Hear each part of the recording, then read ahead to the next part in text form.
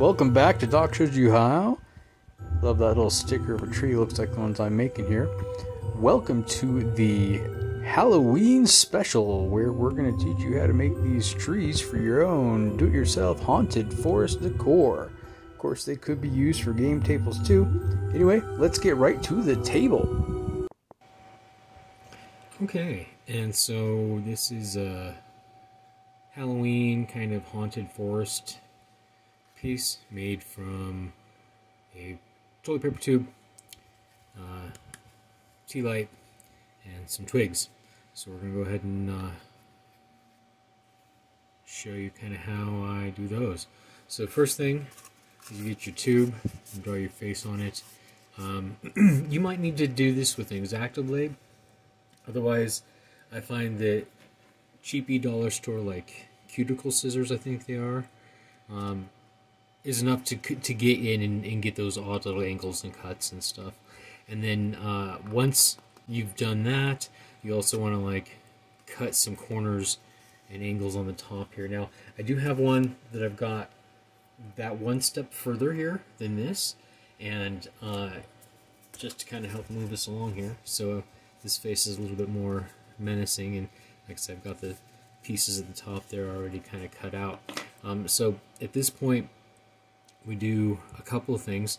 Uh, you can shape this cardboard a little bit the way it is now. Like these fangs, we can pinch a little bit to make them more stand out-ish.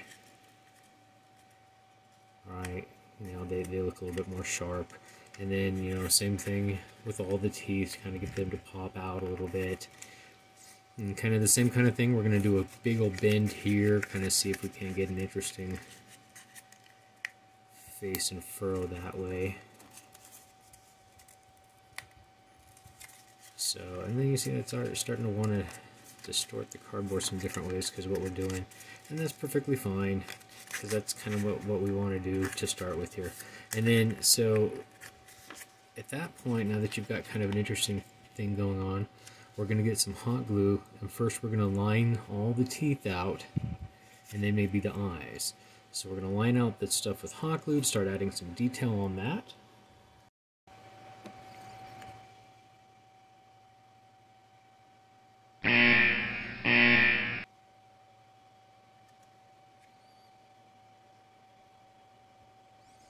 So now that I've kind of outlined the teeth already that way, I'm going to actually draw like a lip around it all now to kind of add another little three-dimensional element.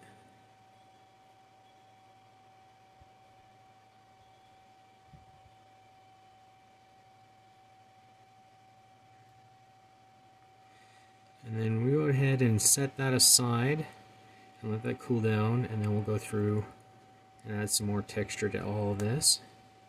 That's just kind of the start on the face there.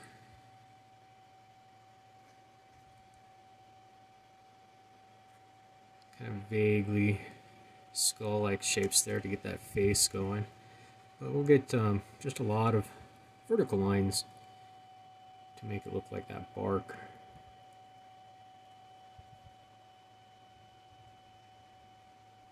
And then so I'm going to go ahead and bring in the sticks. These are some fine little knobby weird sticks that I picked up just on a walk the other day. Um, so I'm going to go ahead and just break some of these off here. Get some a little bit shorter pieces. But these are nice and like finger-like and bony. So we're going to go ahead and put that there.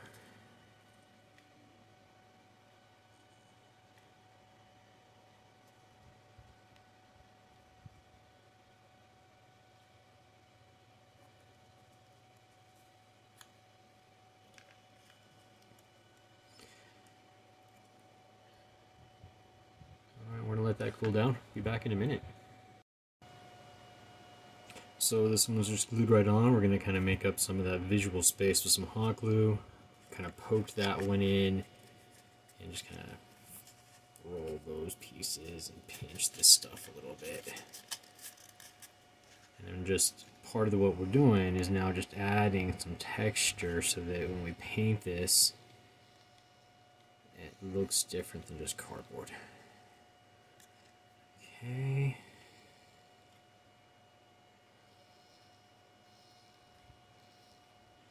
And you know, it's all about having some fun. Like you can draw some shapes and drag this through it and kind of sculpt with that hot tip a little bit.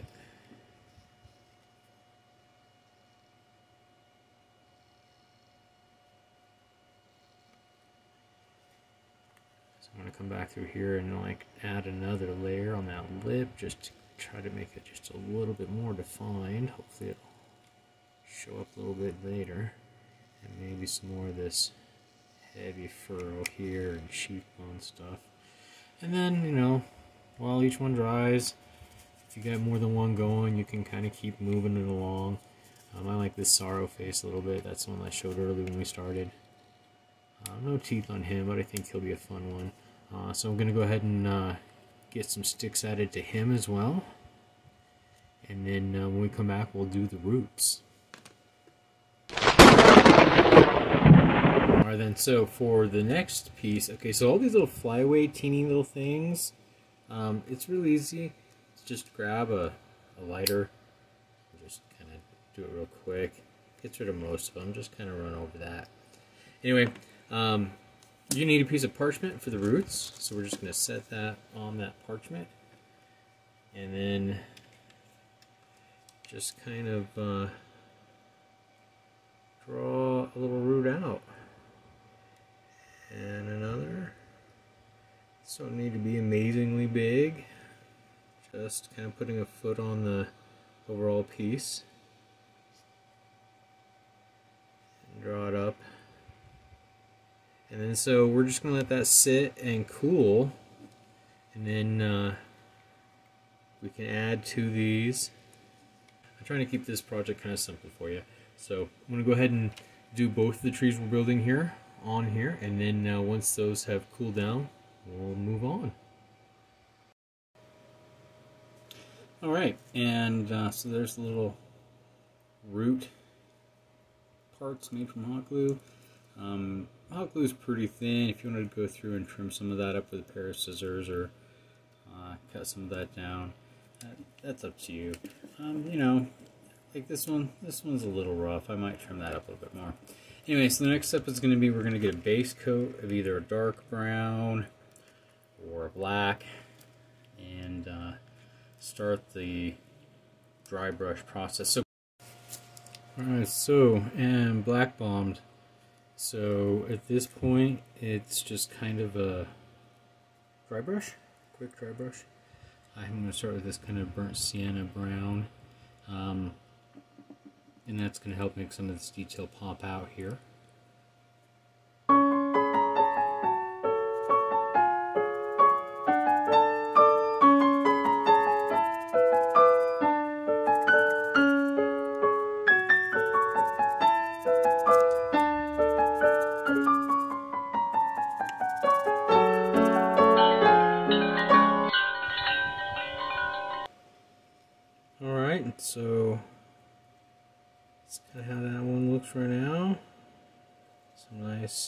Dry brushed difference there to kind of bring out the sculpted hot glue details. And also that guy. That wonderfully sad screaming, oh, moaning in terror, pain, or anguish. Anyway, so the next part is going to be putting that piece of parchment paper up inside to cover the cutouts. And then we'll also have the light on. And there as well. So that you get that wonderful kind of lit up face. Alright, so here we go. Here's kind of mean face one we've been making here turn down the lights a little bit here so you can see the light effect a little bit better. But uh, your nice evil tree there. And here's here's the sad tree. And then here's the, the first couple I've made. You don't have the paper in there to screen and spread that light. Um, same thing though, toilet paper tube, hot glue, some twigs, and a LED tea light. Uh, you could dress this up a few different ways. You could put foliage on here, some moss or something, help dress that up somehow. Um, you could change the color. I kind of went with this realish-ish brown.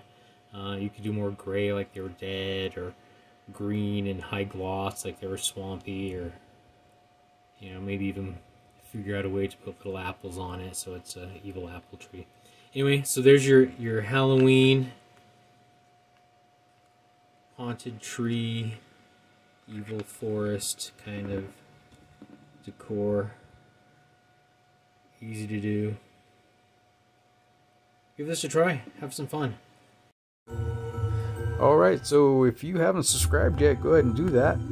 Let me know if you try these trees. Thanks again for watching Doc Shows You How. Have a happy Halloween!